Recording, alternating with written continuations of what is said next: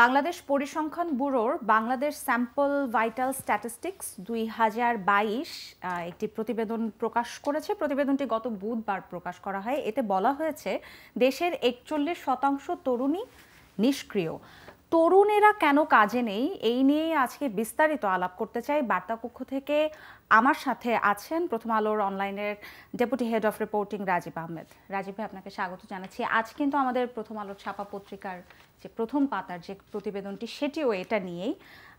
প্রথমে আমি আপনার কাছে যেটি জানতে চাইব, যে মানে সাধারণত বলা হয় যে একটি দেশ উন্নতির দিকে এগোচ্ছে, এটা আমরা বুঝতে পারব যখন দেখব যে সেই দেশের ইয়াং জেনারেশন বা তরুণেরা কাজ করছে, পড়াশোনা করছে, কাজ পাচ্ছেন। তো তাহলে আমরা এখন এরকম একটা অবস্থায় দাঁড়িয়ে আছি।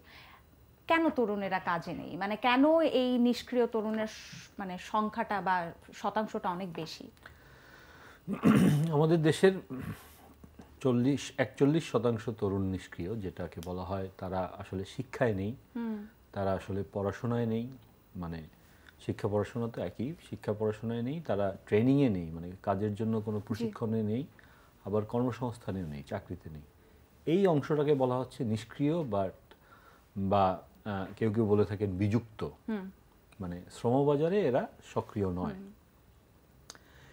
এরা নেই এটার নানা কারণ থাকতে পারে। আপনি দেখবেন যে মেয়েদের মধ্যে হারটা বাষট্টি শতাংশ। তার মানে মেয়েদের একটা বড় অংশ তারা আসলে ঘর সংসার নিয়ে ব্যস্ত অথবা বাসা বাড়িতে রয়েছেন গৃহস্থালী কাজ করেন। এই গৃহস্থালী কাজ বা সংসারে মেয়েরা যে কাজ করেন এটা কিন্তু আপনার সেই হিসেবে কর্মসংস্থান হিসেবে স্বীকৃত নয়। যে কারণে এই মেয়েদেরকে তো নিষ্ক্রিয় হিসেবে ধরা হয়। ছেলেদের ক্ষেত্রে শতাংশটা উনিশ শতাংশের মতো। আপনি এরা কিন্তু দেখবেন যে তরুণদের একটা অংশ এইচএসসি বা এসএসসি পর্যন্ত পড়াশোনা করে পড়াশোনা ছেড়ে দেয় বাসায় বসে থাকে। একাংশ আপনার স্নাতক পাশ করে তারা চাকরির জন্য অপেক্ষায় থাকে। বারবার পরীক্ষা দিতে থাকে কিন্তু চাকরি পায় না। দুই তিন বছর ধরে বেকার থাকে। এই অংশটা কিন্তু এর ভিতরে যুক্ত। এই যে এত বেশি হার এটার বড় কারণ হলো যথেষ্ট ভালো কাজের অভাব। তরুণরা যে কাজ খুঁজছেন সেটা হয়তো তারা পাচ্ছেন না।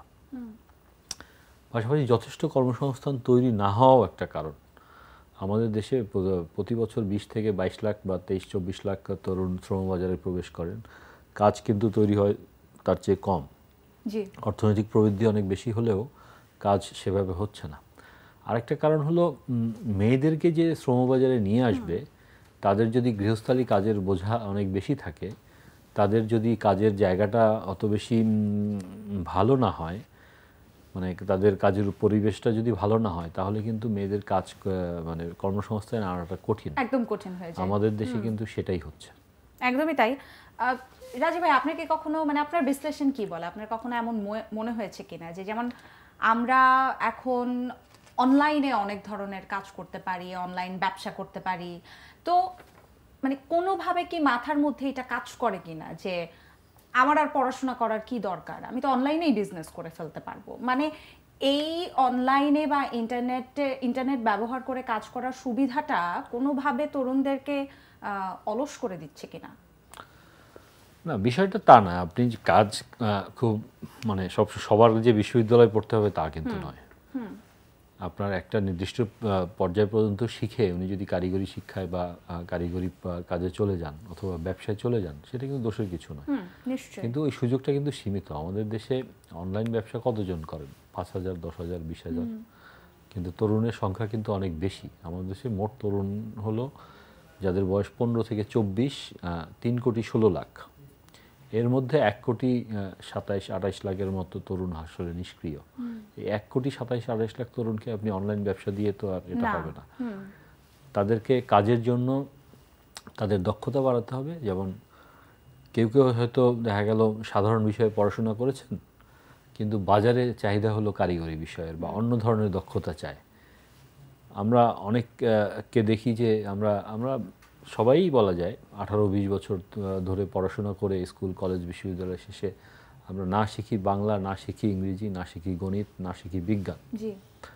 আসলে দক্ষতার লেভেলটা কিন্তু খুব ওইভাবে ভালো নয়। যে কারণে আমাদের দেশে এসে বিদেশিরাও কাজ করে আবার আমরাও যারা শিক্ষিতদের মধ্যে সবচেয়ে বেশি বেকারত্ব। উচ্চশিক্ষিত যত বেশি বেকারত্বের হার তত বেশি। তত বেশি। অর্থনীতিবিদ এবং শ্রমবাজার বিশেষজ্ঞরা যা বলছেন, আপনার প্রতিবেদনে যেই পয়েন্টগুলো আলাদা আলাদা করে দেয়া আছে। আমি এখানে কয়েকটা দেখছি, মেয়েদের বাল্যবিবাহ, কাজ পাওয়ার জন্য প্রয়োজনীয় দক্ষতার অভাব, শিক্ষার মানে ঘাটতি, যথেষ্ট কর্মসংস্থান তৈরি না হওয়া, এইগুলোর মধ্যে কয়েকটি বিষয় নিয়ে যদি বলতেন। যেমন আমি যদি মেয়েদের বাল্যবিবাহের কথাই ধরি না কেন, এইটা নিয়ে যারা কাজ করছেন তারা কি বলছেন? বা মানে বাল্যবিবাহ নিয়ে আমি যখন কাজ করব, তখন এর যে কনসিকোয়েন্সেসগুলো সেগুলো আমাদের মাথায় বা সংশ্লিষ্ট যারা রয়েছেন, তাদের মাথায় কতটা কাজ করে? এবং এর পাশাপাশি দুটো একসাথেই বলি, যেমন শিক্ষার মানের ঘাটতি। আপনি যেটি বললেন যে ছোটবেলা থেকেই যদি আমাদেরকে ওইভাবে স্কুল, কলেজে তৈরি করা হতো, যেমন আমি একসাথে সব পড়ছি, আমি অর্থনীতিও পড়ছি হায়ার ম্যাথও করছি, আবার আমি বিজ্ঞান পড়ছি, ওদিকে গার্হস্থ্য অর্থনীতিও পড়তে হচ্ছে মানে সব কিছু মিলিয়ে আমরা একটু মানে পাঁচ মিশেলে একটু হজবরলা হয়ে যায় কিনা, এই বিষয়গুলোকে একটু আলাদা আলাদা করে নজরে আনা যায় কিনা, আমরা জানি শিক্ষা নিয়ে নানান রকমের নতুন কারিকুলাম তৈরি করা হয়েছে পরিবর্তন আনা হচ্ছে, কি অবস্থা এই জায়গাগুলোতে? শুরুতে মেয়েদের বাল্যবিবাহের কথাটা বলি। একটা মেয়ের যখন বাল্যবিবাহের শিকার হয় তখন তার বয়স থাকে পনেরো ষোলো সতেরো। ওই সময়টা হয়তো দেখা গেছে সে স্কুলে পড়ে অথবা একাদশ বা দ্বাদশ শ্রেণীতে ভর্তি হয়েছে। তখন বাল যখন তার বিয়ে হয় এবং এক বছর বা দেড় বছরের মাথায় তার যখন একটা সন্তান হয় তার পক্ষে আসলে পড়াশোনাটা কন্টিনিউ করাটা কঠিন। দ্বিতীয়ত হলো অনেক পরিবার পড়াশোনা করতে দিতে চায় না। আবার অনেক ক্ষেত্রে দিতে চাইলেও তার পক্ষে হয়ে ওঠে না। তো এই মেয়েটা কিন্তু আর কখনোই শ্রমবাজারে প্রবেশ করতে পারবে না। কারণ সে পড়াশোনাও শেষ করেনি বা তার এরকম কোনো দক্ষতাও তৈরি হয়নি যেটা বাজার তাকে ডেকে নিবে বা বাজার তাকে সুযোগ দিবে। আমরা আবার তাকে পরবর্তীতে প্রশিক্ষণ বা পড়াশোনায় ফিরিয়ে আনার জন্য ওইরকম কোনো চেষ্টাও নাই। আমাদের দেশে নারীদের এই যে সমস্যাটা আর উনি কী কাজ করবেন? সরকারি চাকরিতে হয়তো দেখা গেল যে ছয় মাসের মাতৃত্বকালীন ছুটি পান। বেসরকারি প্রতিষ্ঠানে গুটি কয়েক প্রতিষ্ঠানে বা কিছু কিছু প্রতিষ্ঠানে দেয়। কিন্তু বেশিরভাগ ক্ষেত্রেই কিন্তু এই সমস্যাটা খুব প্রকট যে মাতৃত্বকালীন ছুটি পাওয়া যায় না। মাতৃত্বকালীন ছুটি চাইলে তাদের চাকরি ছাড়তে হয়। যখনই মা হতে হয়, হতে যান, তাদেরকে চাকরি ছেড়ে দিতে হয়। এরকম ঘটনা কিন্তু প্রচুর আছে। তো আসলে পরিবেশটা সহায়ক না। দ্বিতীয় যে বিষয়টা আমরা বলছিলাম যে আমাদের দেশে অনেক দিন ধরে বলা হচ্ছে যে কারিগরি শিক্ষায় শিক্ষিত হতে হবে। আমাদের এখানে প্রচুর কারখানা হচ্ছে।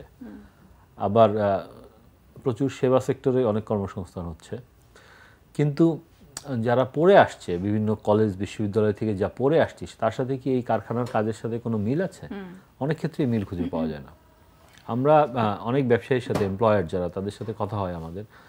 ওনারা একটা চাকরির বিজ্ঞাপন দিলে প্রচুর ওখানে সিভি জমা পড়ে। কিন্তু ওনারা সঠিক ক্যান্ডিডেট খুঁজে পেতে ওনাদের গলদগর্ম করতে হয়। না পারে বাংলা না পারে ইংরেজি না পারে তার কারিগরি বিষয় মানে যেসব কাজে তার দক্ষতার দরকার হয় ওই ওই কাজটা করতে গেলে যেসব বিষয়ে তার দক্ষতা সেগুলোও থাকে না। এই সুযোগ থেকেই কিন্তু বিদেশ থেকে অনেক লোক এসে বাংলাদেশের বিভিন্ন সেক্টরে কাজ করে। তো তাহলে এই পড়াশোনা কি চেঞ্জ দরকার? অবশ্যই দরকার। সবাই জানে এটা দরকার। কারিগরি বিষয়ে জোর দেওয়া দরকার। কারিগরি বিষয়ে কাকে আমরা পড়তে পাঠাই সবচেয়ে দুর্বল যে তাকে। সবচেয়ে দরিদ্র পরিবারের সন্তানকে সন্তানগুলো সন্তানেরা তারা কারিগরি শিক্ষা পড়াশোনা করেন কারিগরি ইনস্টিটিউটগুলোতে পড়াশোনা করেন। কিন্তু দেখা যাচ্ছে ওখান থেকে পাশ করে বেরিয়ে যে ছেলেটা ভালো করে সে কিন্তু অনেক বেশি আয় রোজগার করে সাধারণ শিক্ষায় পড়া একজন ইয়ের থেকে। আর আমাদের দেশে বিশ্ববিদ্যালয় পড়তে হবে একের পর এক বিশ্ববিদ্যালয় হচ্ছে জেলায় জেলায় বিশ্ববিদ্যালয় হচ্ছে ওখানে ভর্তি হচ্ছে।